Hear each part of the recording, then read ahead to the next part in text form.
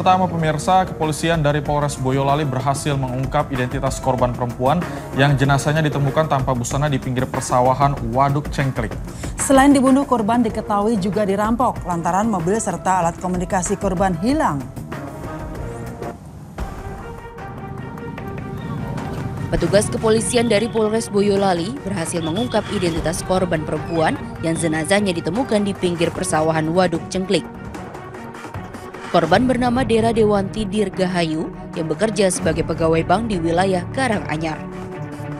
Dari olah tempat kejadian perkara, rumah korban yang berada di wilayah Ngeplak Boyolali, petugas kepolisian mendapati bahwa selain dibunuh, korban juga dirampok lantaran kendaraan pribadi dan alat komunikasi korban hilang.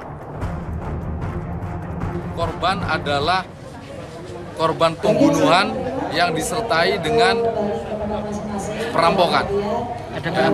Jadi di rumah korban itu tidak ditemukan barang-barang yang hilang. Akan tetapi kendaraan dan e, alat komunikasi korban sampai saat ini belum kita temukan. Sebelumnya jenazah Dera Dewanti ditemukan di pinggir persawahan Waduk Cengklik dalam kondisi tanpa busana, tangan terikat dan ditutupi selimut merah. Aparat kepolisian pun masih mencari pelaku pembunuhan Dera dengan melakukan pemetaan ke beberapa orang yang dekat dengan korban.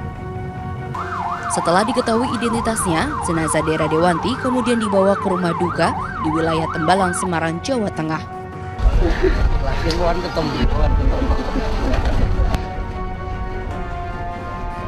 Kedatangan jenazah disambut isak tangis oleh keluarga dan kerabat korban.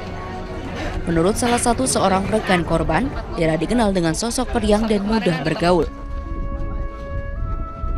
Kemarin terakhir juga dia bilang hari Sabtu itu katanya "Ayo ketemuan ini ketemuan yang terakhir dia bilang gitu. Oh itu dia bilang sama orang. Iya,